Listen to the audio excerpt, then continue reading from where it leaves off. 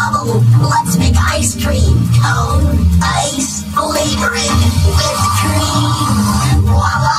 Taste it.